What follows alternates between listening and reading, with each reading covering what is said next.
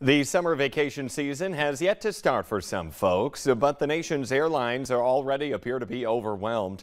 Reduced schedules were hit by thousands of disruptions in recent days. Not all of them can be blamed on the weather. Naomi Ruckham has more.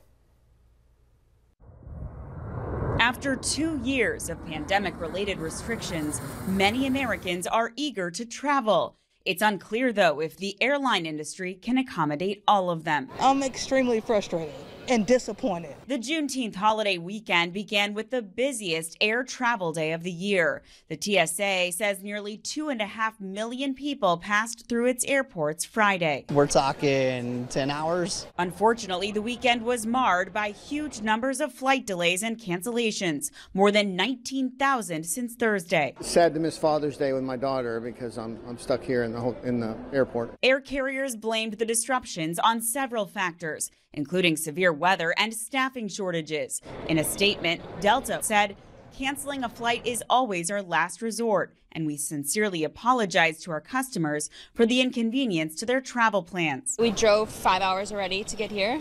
And now we are delayed and are struggling with this. Despite rising demand with summer approaching, many airlines say they don't have the capacity to add more flights to their schedules. Last week, Transportation Secretary Pete Buttigieg met with airline executives to talk about their company's performance. Buttigieg said he hopes to see some improvements by the 4th of July. Just about 6.30 now on this Monday morning, waking up to some incredibly hot temperatures on this first alert weather day. Good morning, Lisa. Good morning. Yes, already starting off sweating if you don't have air conditioning because we never really cooled down much last night. And if you do have air conditioning, well, you'll start to sweat the second you walk out the door. We're looking at triple digit heat index values developing as the day goes on and the chance for severe storms too. So two different types of threats on this first alert weather day. So first of all, let's talk about rain rain chances. We've got a few areas where we've had some showers, even a thunder shower or two try to get going this morning. We even had a severe storm earlier around Devil's Lake in that 3 o'clock hour.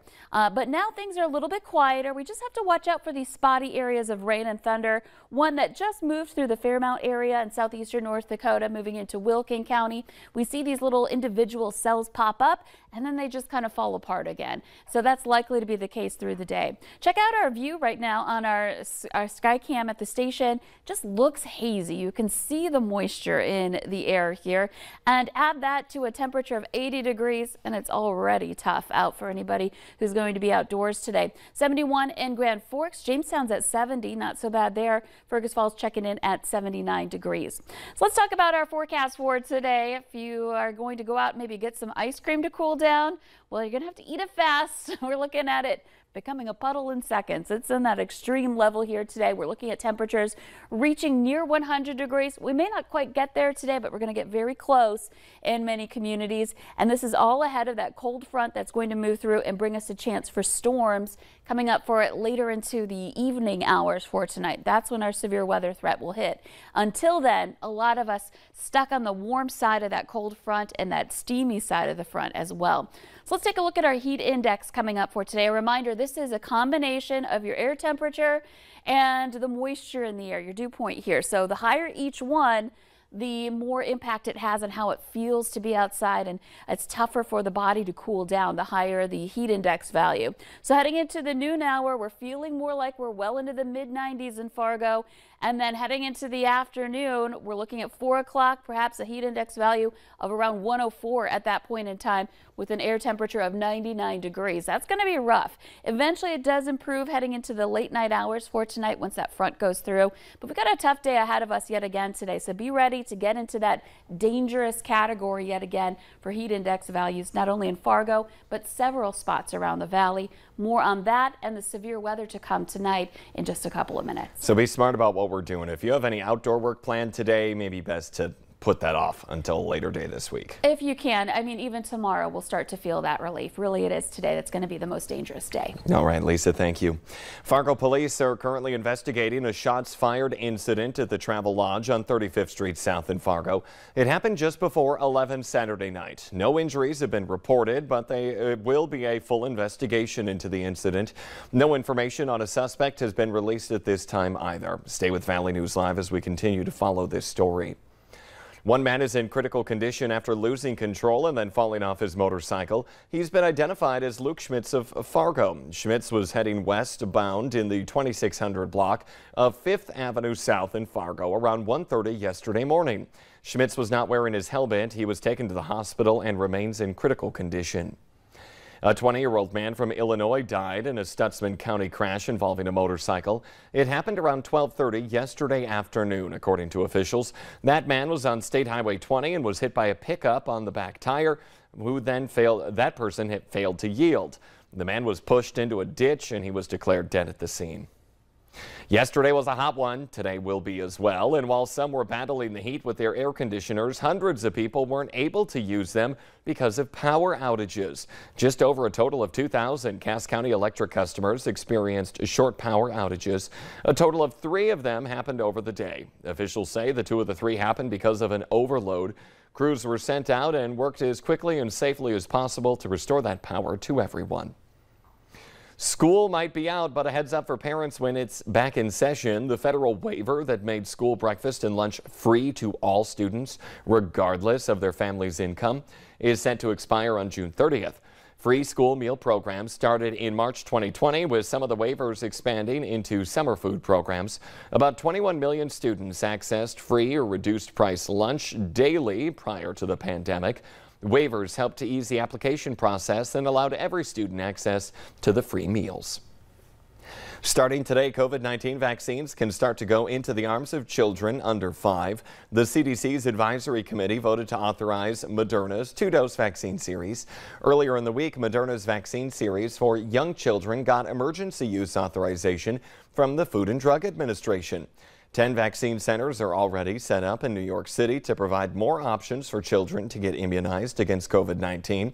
Each dose of Moderna's vaccine for younger children is only a fourth of what an adult would get. Vacationers will get pictures with all kinds of roadside attractions this summer. In Faribault County, Minnesota, one attraction has tourists seeing green. John Lauritsen shows us how a green statue ended up in the city of Blue Earth.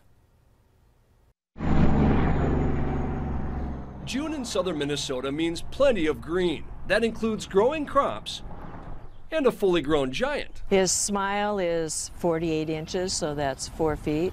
And um, supposedly he weighs 8,000 pounds. And he wears a size 78 shoe. Ho, ho, ho. Jolly Green Giant was once a major canning company in Blue Earth. But the statue is here because of radio station owner Paul Hedberg. In the 70s, Hedberg realized that Interstate 90 construction meant less traffic for the city. He got to thinking, okay, we need something to bring people to town. So he came up with the idea of a green giant statue. As the legend goes, in a single morning, Hedberg raised close to $60,000 to build the 60 foot fiberglass statue. And for the past 43 years, the giant has cast a shadow over the town in a good way, standing tall through wind, rain, sleet, and snow, all while wearing just a toga. The leaf toga. Is that something you'll see well, people that, wear around town? No. Okay. At one time, he even had a, a leather vest and a bandana for Sturgis. But on this day, it was sports cars, not motorcycles, that made a pit stop. This is something I've done for the last five years. Every year, the High Plains Corvette Caravan drives from Colorado and Wyoming to Wisconsin Dells, even though they drive Corvettes. They're not too cool for the Jolly Green Giant. The Jolly Green Giant is a major stop along the way. You would never wear a leaf toga? I can't do that anymore. It'd be tough to pull that off while you're driving a Corvette, I think. Well, it gets in the way. Gene and Karen Mays of Loveland, Colorado are seeing the Giant for the first time. I think it's, it's neat. It's very yeah. cool. Yeah. Huge. He's maintained his physique pretty well over the years. I probably eat a lot of green beans. The Giant's history is told just feet from the statue, inside a relatively new museum. Kind of a medieval looking contraption here, but this is what they used in the 1950s. Right. The filled cans would come into this machine and then they would get lidded. A diorama highlights the canning plant in Blue Earth, and Green Giant memorabilia of all kinds can be found from wall to wall. Each year, the collection grows like a cornstalk, all thanks to the Jolly Green Fellow, who towers over the countryside. And you talk to anybody who has any family or friends coming from out of town, they always bring them out to see the giant because that's what you do. in Blue Earth, John Lauritsen, WCCO 4 News. Land of 10,000 lakes and 10,000 attractions. It was a weekend to pay tribute to all of our fathers and father figures in our lives. Father's Day wasn't really even an official holiday. Well, it's not a federal holiday, but you know what I mean. Until 1970, President Richard Nixon had Congress pass a resolution designating the third Sunday in June as Father's Day. Fathers are always happy to be remembered, whether it's with a card or maybe even pancakes in bed or a gift. However, it's the thought that counts no matter what you thought for your father. We are waking up to some incredibly hot temps, and that could mean possible storms this morning throughout the day and this evening. Lisa Green is tracking the very latest on this first alert weather day.